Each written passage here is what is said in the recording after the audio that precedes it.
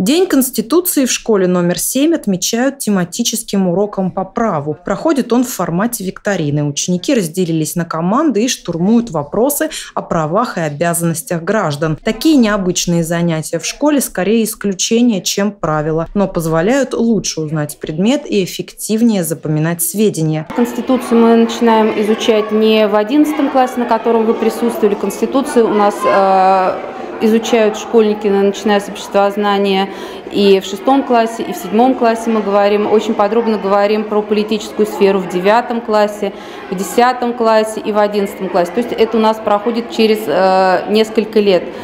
И в ЕГЭ посвящены вопросы Конституции. Четко за определенными вопросами закреплена тематика Конституции, поэтому с практической точки зрения это надо знать. День Конституции в стране отмечают с 1936 года. С тех пор главный документ государства несколько раз менялся, обновлялся и усовершенствовался. В том виде, в котором мы знаем его сейчас, он существует с 1993 года. Знать Конституцию не на зубок, но хотя бы поверхностно, быть бегло с ней знакомым должен каждый. Это школьники прекрасно понимают. Мне кажется, это даже и на бытовом уровне, потому что человек не, сейчас недооценивает свои права, их преимущества, которые он может а, использовать практически каждый день, даже не практически, а точно, которые будут помогать его, ему осваиваться в жизни, ему работать, жить.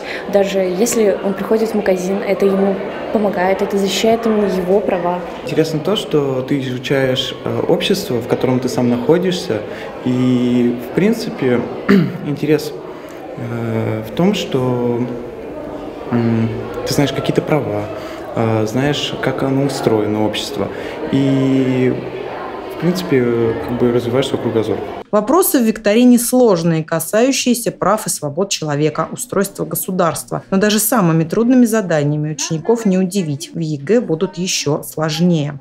Некоторые люди не понимают, зачем нам нужна Конституция, но это ошибка, и мы должны посещать уроки по праву, поскольку Конституция нам дает возможности делать все, что мы хотим, показывает нам наши права. Обществознание, э, ну, как бы предмет э, достаточно комплексный, он включает в себя э, вопросы, сведения, связанные с большим комплексом наук, то есть это и экономика, и право, и социальная сфера, и психология, поэтому большой блок вопросов неразрывно связан именно с э, юриспруденцией, с областью права.